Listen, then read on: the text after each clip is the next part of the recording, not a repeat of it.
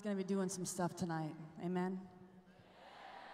I'm so excited to be here. I only have a short amount of time, so I know that we've, we've, we've laughed together, we've danced together, we, we, we praised together, and, and I, I need us to just dive in tonight. And if you have your, um, your Bibles here, I want you to open to Mark. You're like, oh, she's going in. Oh, yeah, buckle in, baby. We're going, okay? So um, if you have your Bibles, some of you do, great. We're going to be, we're going to be um, hanging out the whole night on one specific passage. It's in Mark, Mark 10, 17, um, through basically 22. Um, and be a little bit further on to that. And I love Mark's gospel. Uh, growing up Catholic, I didn't know a lot about Scripture, so I want to give you a quick highlight of, of why I love specifically Mark's Gospel. Okay, so John, awesome Gospel. Um, each, each writer has a different kind of nuance and how it looks at scripture, how he breaks open this person of Jesus. And John is like this dual, he, he talks about the dualism of God, the, the highs and the lows, this great mystic, this deep revelation. Like he's the kid in high school that walks in and he's like the poet that says like deep stuff all the time and you have no idea what he's saying, but it's like blows your head open. Like John, right? Like just deep mystery of the Lamb of God. And then, and then you got Luke, okay? And Luke's like coming and he's the only one in scripture that does the Magnificat. He has a great um, love for women and the marginalized, okay? And he talks about the spirit filled gospel for the poor. All throughout, there's this lacing of the small and the poor. And, and man, Luke's awesome. And then there's Matthew, okay? And Matthew is broken up into these five long discourses. And his audience for Matthew is more for the Jews. In the Old Testament, um, they had a lot of epic things. And, and like I call Matthew like a ninja because all throughout Matthew are these cool, amazing Old Testament references that he throws in, just kind of like, ha ha ha. But really, it's the whole Old Testament being fulfilled in Jesus Christ. The old, like the Moses, and Christ coming as the new Moses, Christ coming as fulfillment, and the authority of the church being fulfilled in these awesome, lengthy teachings. And Matthew is awesome. And then there's Mark. I love me some Mark, man. Mark, he's like for your ADD people in the room, right? right? Mark is awesome because Mark, he doesn't have the long discourses like Matthew. He comes on the scene, it's fast paced. He uses the word immediately more than any other um, of the Gospels. Like it's fast paced. He comes in, Jesus is like, comes in, he's like raising people from the dead, he's curing people, things are happening left and right, and no one knows who he is. In fact, a lot of times, Mark in his gospel, he tells people not to tell others that he's the Messiah. It's like, what? They call it um, the messianic secret. It's like awesome. And Jesus comes, and it's like halfway through Mark's gospel that the, the disciples who are kind of moronic, like in Mark's gospel more than all the other gospels, like they're like the like his, his apostles aren't getting it. They're like, what do you mean? Right? Until the end, right? He, he moves, they're kind of getting that you're the Messiah until the very end when he's on the cross. And blood and water is poured out his, of his side. And a centurion, he was a Roman guard, falls to his knees and sees the glory of the Savior. And he says, Truly, this is the Son of God. Like, this is the Savior of the universe. This is where we're going tonight. This is, the, this is where we're going. I want you to snapshot this in your heart right here this, this image of saying, God, that you're the Savior. Um, we are all praying in the back room, and I know I'm going heavy. You're like, oh, you were funny this afternoon. And you're like, you're going there because, listen, guys, like God is going to do something tonight. And it's not because of my talk, the Savior has come. Okay, and just pray with me for a minute. Heavenly Father, I, I pray um, that you, you come with your mighty power as Savior tonight, that you would open our eyes to see the glory of what you have in store. Amen. Amen. Um, if you go ahead and throw that first slide up, um, these are my shoes, they're not. Um, okay, so do you ever have those moments? I know we're just jumping in. Do you ever have those moments that you kind of don't know what to do in life? You're like, yes, yes, okay. So growing up, I was the youngest kid of, of five. I was the baby. And my older sister always was the one that went to my mom because I had a mom that always had all the answers. Does anyone have a mom like that? Yeah, some of you love her, some of you don't. It's okay. And so my mom was someone who always had the answers, and my sister was the girl that always went to mom and like asked her what to do, and she did it. And I was the girl that never went to mom because I was too cool for school for mom. And so I remember when I went to college, I had this epic moment where I didn't know what I was gonna do, and I was frustrated. My dad had a flow chart, and it didn't help. And like people were telling me what I should do, and I was confused. I didn't know what to happen. And, and I went up to my mom, and I'm like, Mom, and I finally had the courage, to like, I'm gonna ask mom, you know, finally. And I poured out my heart, and my mom and her beautiful momism stopped and was like, Well, you're just gonna have to pray about that and make that decision on your own. And I'm like, Are you kidding me? Like, my whole life you tell me what to do. Like, just tell me what to do, right? Do you ever have those moments? Like, we have all these questions. Let me hear you say the word questions. No, no, no. Let me hear you say the word questions. Oh, I love it. We live in a world of questions, right? And a world of, of answers with those questions, right? So I don't know if you're on Pinterest. Some of you might be on Pinterest, some of you are not. It was amazing in their day. I was thinking about all the questions that we have in life, all the things that we, we, we want to know. And the beauty of our culture is that we have Google and Wikipedia and a million ways to find those answers. Amen? So on the Pinterest, just at any moment, right, three secret fashion tips. This is all 101 ways to improve your relationships. Yeah, yeah. Right? 50 things to know to prepare for college how to take your perfect Instagram. These are true. I'm not making this up, right? Biceps, five ways to increase your swag. That's right, gentlemen. Don't read that blog, it doesn't work. So, but but we have these like right all these answers all around us in fact um, there's this uh, i don't know if you've heard of this these talks called ted talks have you heard of talks yeah they're, they're pretty, um, they're, wow, I'm gonna have to, I'm gonna, I'm taking my time. Sorry, I'm, I'm looking at the clock, but I got a long way to go. These TED Talks, um, these TED Talks are great. They're, they're, they talk about amazing topics of, of intrigue and kind of cover it in a short amount of time. And I was researching what the biggest TED Talks, you know what the biggest TED Talks are? It's five ways to find happiness. Five ways. I'm like, really? That's awesome. All of them, the top ones. And that's what we desire. Uh, Coca Cola right now has an ad for the, the World Cup, and what it says is open happiness. Because that's what we want the questions of our heart. We want to know what to do to find happiness. Where am I going to go to have all these feelings fulfilled in my life? And I don't know what you struggle with in your life. I don't know what questions you wrestle with at night. I mean, Father Dave told that amazing story about um, his friend who was in China who thought art would be her solution, and it wasn't. And we all know that feeling. And the beauty is tonight, I don't know what your questions are, whether it's how to get rid of my acne or, or when am I going to find a boyfriend or, or, or, or why do I feel so alone? Or God, are you really there? I don't, I don't know your questions, but I do know the answer for tonight.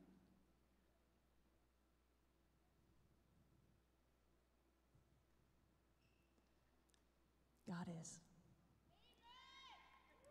God is the answer for tonight. You guys, we got to get this as we're going deeper. We've been talking about this all weekend. They've been passing the baton, talking about how God is. We talked about earlier, yes, that God came and appeared to Moses. He said, I am. Right? The God of all the universe. But this is just a distant God. This God has made himself visible in the person of Jesus Christ. It says in John's gospel, Jesus says, Truly, truly, I say to you, before Abraham was, I am. Do you know that he said that? He, he uses the Greek um, ego. Um, this is falling. He uses the same Greek term that he uses in the Old Testament, right? Although it's Hebrew, but he uses the same Greek term. When they said "I am," they were about to stone him because they knew that he was saying, "I am the, I am God." The God that made the Niagara Falls, the God that created the stars and keeps our, our heartbeats moving at time, like, I am. And that's the God we're going to today. The beauty of the story that we're going to be unpacking, right? The story is that this rich young man slides in to ask Jesus a single question, right? Tell me what to do. And he wants a solution, he wants an answer. He doesn't want a savior. He's looking for a problem to be solved instead of a person to be found. And that's a huge part of what we're going to be talking about tonight. And there's three points that I'm going to be breaking open to you. Number one, the deception of the external. And for you youth ministers, I would encourage you to write this down. These are great small group questions as you unpack what the heck does she talk about. The, the deception of the external, right?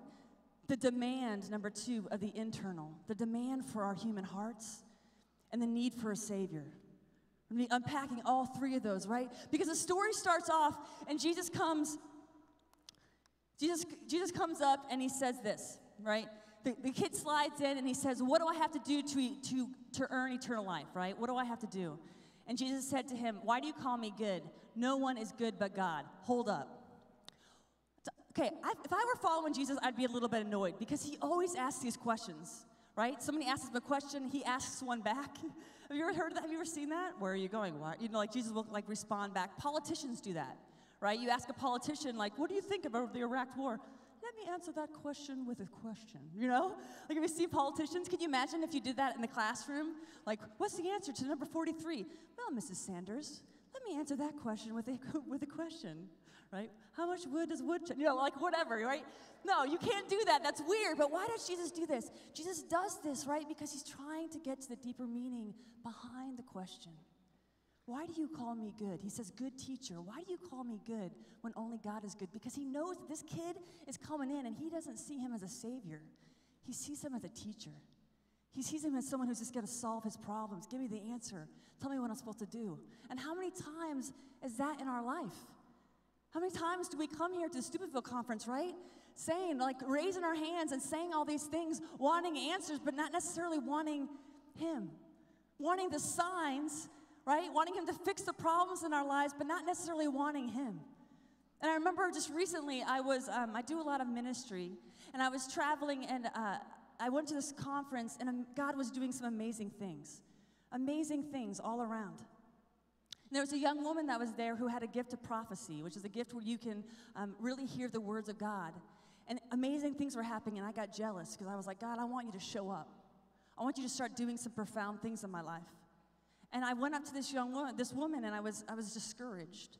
And she said to me, um, she's like, oh, Mary. She was Hispanic. She was sassy. I loved it. She was like, Mary.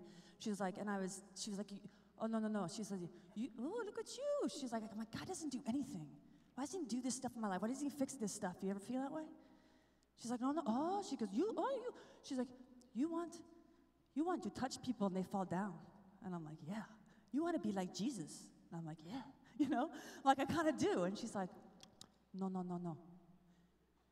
She said to me this Jesus does not want to give you the 4th of July, right? Epic, because this is the 4th of July weekend. Jesus doesn't want to give you the. She didn't know what that meant. She's like, Fourth of July, do you understand freedom? I'm like, I know what you mean. Jesus does not want to give you the Fourth of July. Jesus wants to give you Easter.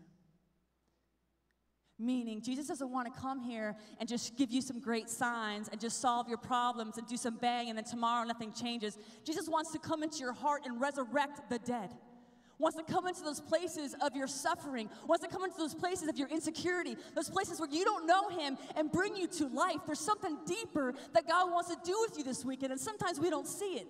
We're just like this kid that comes in wanting answers, and I'm saying it for someone because it's me too. It's me too. No, no, no. I know that we're all getting excited here, but you guys, I know, I know, I know that we're all excited. Testify, yes, but I need us to hear this. I'm not trying to shut you down. I love you. I love you. I love you. But we got to hear this. Because this rich man is me. Do you guys hear this? This rich man is us. He comes in looking like God just fixed my stuff. He doesn't see who he is. We don't see who he is. We come to these conferences and I do it too. Yes, Lord, we say our prayers, we want it good, and we walk away and, and like we don't even know our own mess. Do you know that I talk to teens all the time around the country and they don't even know like what's wrong or anything? I don't know, God is good, He loves me, yay. They're not aware of his heart. This kid is not even aware of his need. Listen to the next line. It says this. It says that Jesus says, Why do you call me good? You know the commandments do not kill, do not commit adultery. He names off all these commandments. He says, Teacher, all of these things I've done from my youth. Like Jesus, I've got this handled. How many times do we feel like that in our lives? Like, I got this. I'm, he's a good kid. And I'm saying that to a group of people that are, a lot of you guys are good kids. You're not like, you know, like you watch this, he smoked heroin from the third grade. That's not like, oh, I, am on I'm doing all right. I might have some lust or I might do this or that, like, but I'm, I'm doing all right. I'll let you know, God, like when I need you, but I got this handled. But in the meantime, you can help me do what I want to do, but I got this.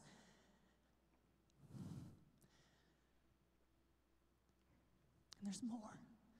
Because when we, when we feel like that, we don't even know our need for a Savior. We can start thinking that we're good on our own.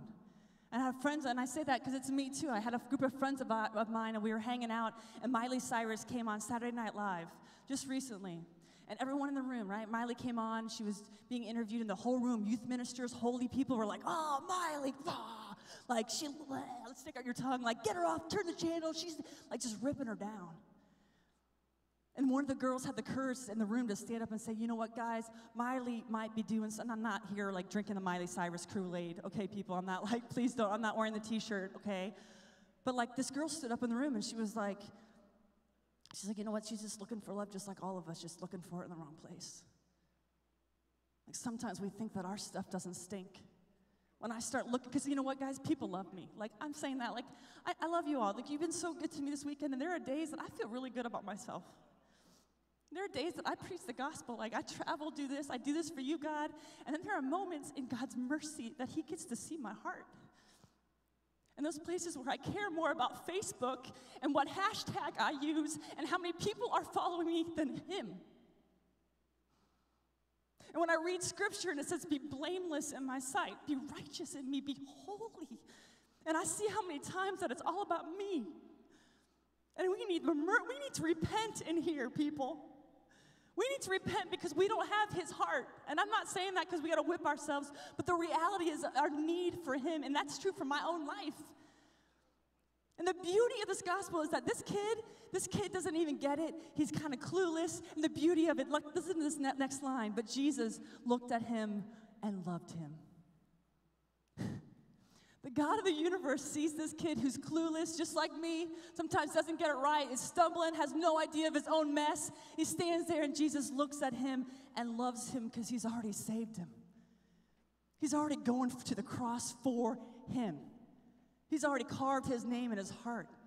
And that's the beauty of this whole gospel, right? There's a picture right here of this is by uh, an artist, a, a German um, Hofmann is the artist's name. But I love this picture because this is the rich young man with Jesus. And look, Jesus is looking at him, and the rich young man's turned away. And how many times is that, that us in our lives? Like, God loving us and us so revolved in our world and our life and wanting it easy and Facebook and, and, and all these things that we don't even see Him.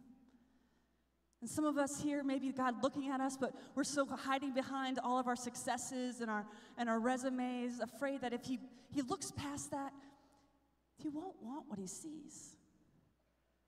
So afraid to let him love us. Ever get like that? Like sometimes I'm afraid of letting God just love me in my brokenness. And I just, just turn away to the world, you know?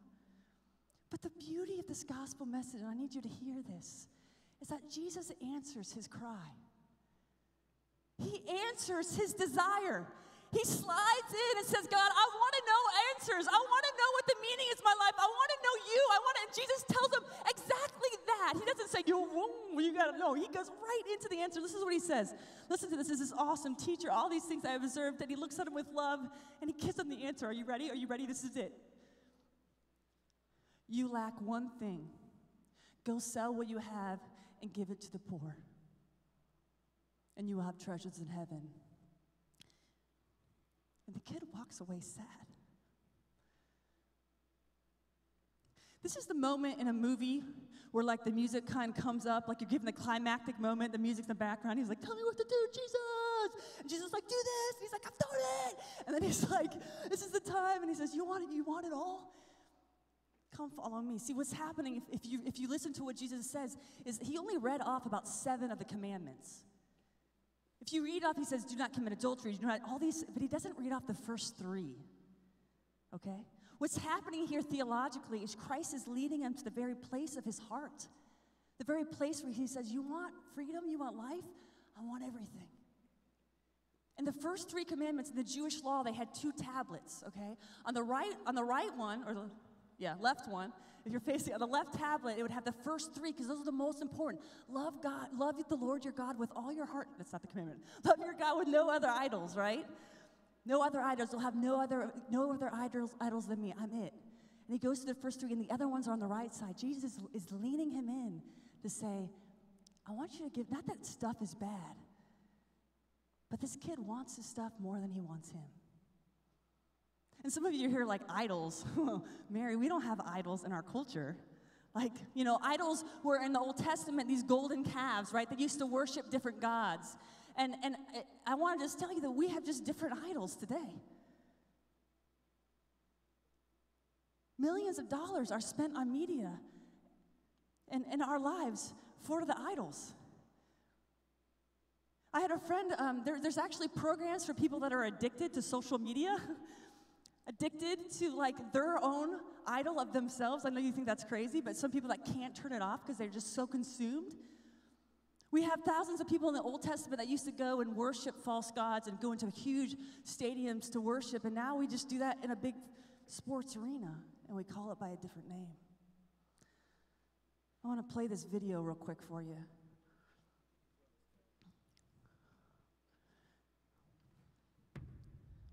There's a video just to Let see. Let me tell you something. If you took away the money,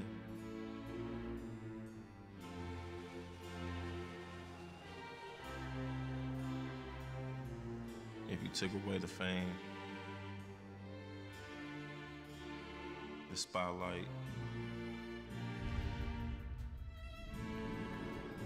if you took away the lifestyle, and all the things that come with it. If you took away all the flash,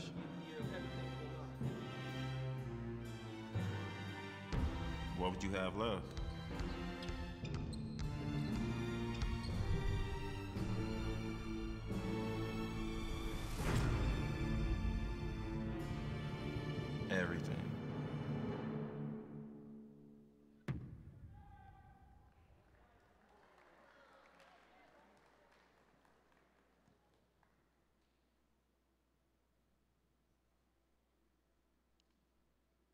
So, what's your everything? No, no. Shh. I'm being serious. Like, I know, I know that some of you are like, yeah, yeah, but I want you to go into your heart. Because those of us who are cheering, we have everything that aren't Him. I want you to get into your heart tonight about what's your everything. What's the one thing that Jesus says to me, you want to follow me? Because what He's asking for is you give me your one thing so I can be your everything. What's your? What, what's, what's your? What is? Is that is that the Lord? Because in my life, it wasn't Him. In my life in high school, I went to these conferences many, many times, but I was still living in the world, right? And I had this this superficial, outgoing thing where on the outside it looked great, but on the inside I was a mess. I struggled with depression. I never thought that I was good enough, and I thought I could just earn His love by doing all the right things and saying yes, Lord. And I went to one of these conferences just like you. And I was sitting in the front row. I'll never forget it. I was sitting right in the front row like you. Hi. This girl got on stage and she started preaching the gospel. A Carmelite nun, not a girl. she had a full habit on, rosaries to the floor. It was like she walked in, it was like you'd hear like a Western, the door open, and she was like, We're talking about Jesus, you know? Something stirred in my heart, man. And I, I ran up to her with questions about the church about homosexuality, about all these issues. I struggled with the church. God isn't afraid of your questions. And as I ran up to her with a million questions in the church and all of this mess that no one saw, I mean, if, if I lived in that day, I would have been a cutter. I was just so depressed, so messed up, but on the outside, I had everything together. I was applauding just like all you guys, testify. And I said it because I love that. love y'all. And there was this, this moment, she comes up and I asked her a million questions. She, she said this. She said, Mary, keep praying. It's so beautiful. Your faith is so beautiful. And I'm like, what? The Catholic Church? Like, I went to Catholic school my whole life, people, in uniforms, therapy, all right? Like, like seriously, it was like, are you kidding me? The Catholic Church is the most beautiful. She just kept talking and she invited me to come visit these nuns. And I, I, I couldn't stop thinking about him. And I, I went off to St. Louis, true story. I didn't tell any of my friends because there was something that I hungered for that the world cannot give you. There was something that I desired that basketball shoes are not gonna do it. And I had I had dug that well. I had gone to the parties. I had hooked up. I had done all these things. And I was miserable and a wreck, but I had the happy face on. And I went to this place scared to death. I walked into this big chapel. You could hear my feet clicking. We walked into this room, opened the door, and there's a tabernacle at the end of the hallway. And she knelt down and said, Say hello to Jesus.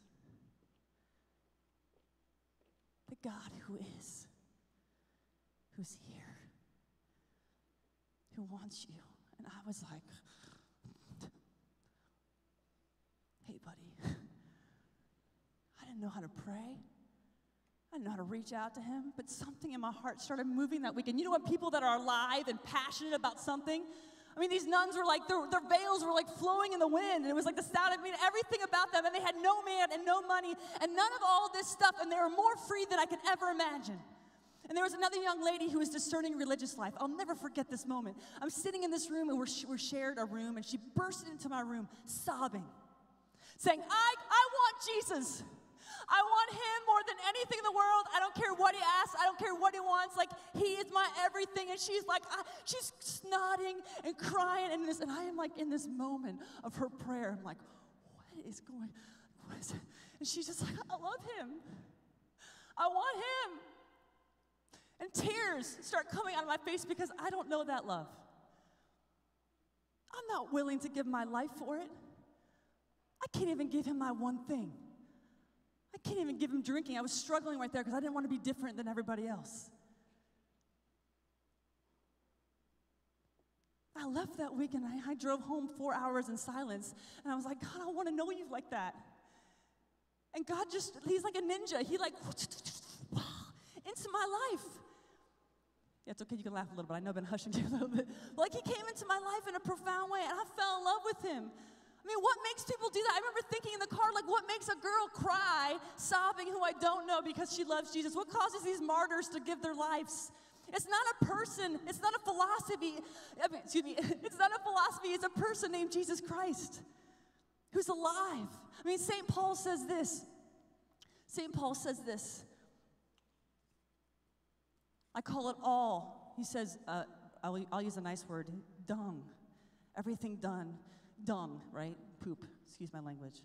That's what he uses this, this strong term. Everything I count as from knowing Jesus. He's the only thing I want to know. He's it. And I don't know what that one thing is for you. I don't know what that one thing is that you have in your life, in your heart. Some of you, maybe it's a sin. Maybe for you, it's like, I've been holding on to this sin and I'm still holding on to it. It's pornography, it's cutting, it's fear, Maybe for some of you, it's your image. Maybe some of you, it's complacency, like, well, God's okay, but I don't want to get out of the, you know, it's fine. Maybe God's just saying, man, would you, would, you, would you get up? Would you fight? Would you shake yourself up a little bit? Stop being just there? Some of you, maybe it's your wounds. You know, for me, for a long time, I was addicted to my wounds, addicted to the lies that I was like, no, no, no, I'm broken. That's who I am. And Jesus is like, man, gotta, will you, will you give me your brokenness? So I can give you my life. Like, what's the one thing that God is asking you today to give to Him? Because He wants to start anew. And I don't know what that is. I'm just going to read, and I know we're going low on time, but you just hang with me on this. There's a beautiful story by C.S. Lewis. I love it so much because it's the story of our journey of the guy that's covered up with so much stuff, and Aslan, who's, who's the lion, who's a symbol of Christ, comes and asks him to take off his layers so he could be made new. And listen to what he says. I'm going to read this real quick and then we're going to finish up. But the water was as clear as anything I thought if I could get into it. But the, the lion told me I had to undress first. I told him that I couldn't undress because I didn't have any clothes on, but suddenly I realized that I was a dragon, and dragons are scaly sort of things. with snakes that can cast off their skins. So I scratched myself and peeled, trying to peel off every layer. But it was of no use. It tells it throughout the whole story. It's a long story, but each time he goes in, he's trying to peel off and fix himself. Trying to. How many times you gone to confession with the same sin over and over again? And this is the beauty at the end. The lion said, You will have to let me undress you. I was afraid of his claws because I was pretty near desperate, but I was pretty near desperate by now. The very first tear, this is Christ taking off our layers, taking off our sin. This is what Christ does on the cross. He takes it from us on himself so that we can be set free. This is the Savior that we can't do it on our own. It's not about sin management. It's like, I need you to help me.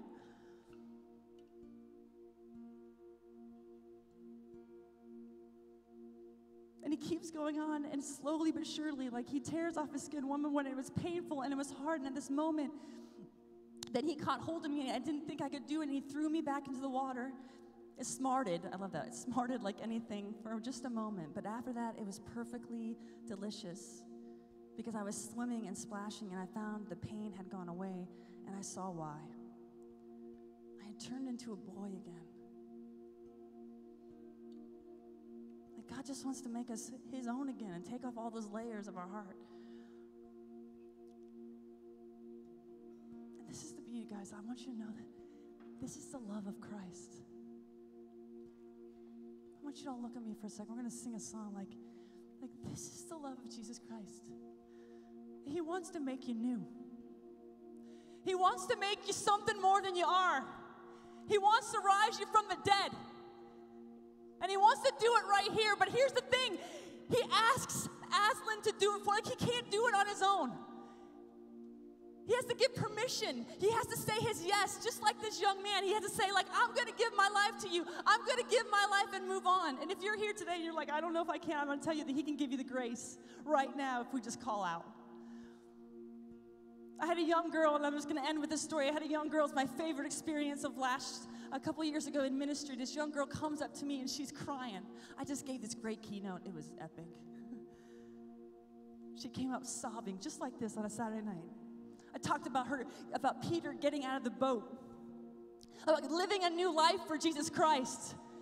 And she was moved, and she came up and she had the snotty tears, like the, like, ugly cry.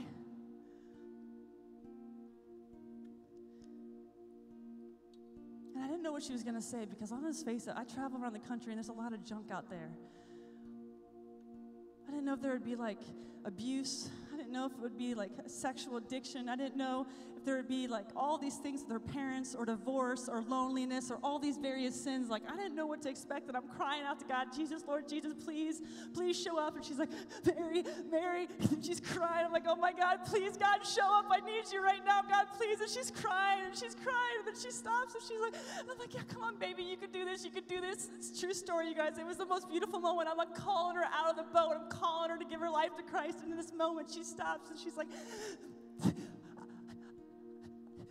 don't, I'm like, come on.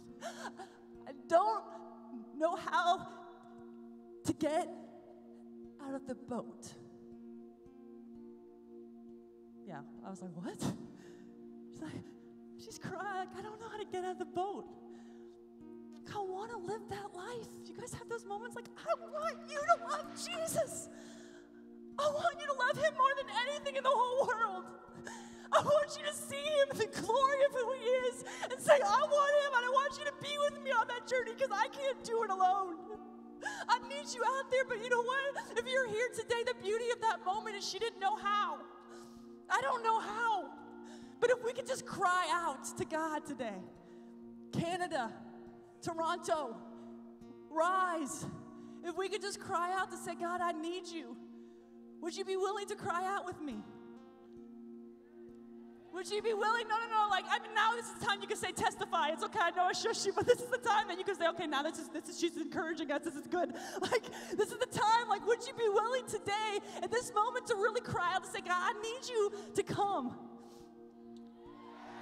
Would you be willing? Because I'm just telling you right now, I know the glory of God has come, and all we got to do is cry out. So close your eyes with me as we pray. Heavenly Father, I want just you to come in this song in your glory, that you would come and teach us our need for you, that we can sing this song like we've never sang any song in the world, that we can sing this song like we are calling out for a Savior because we need you here tonight. And I declare by the blood of Jesus Christ that you died for our sins, that you came and gave your life for us to live again. And we call upon the Holy Spirit and the grace right now that tonight we will rise in your name, Jesus Christ, because you are the King of Kings.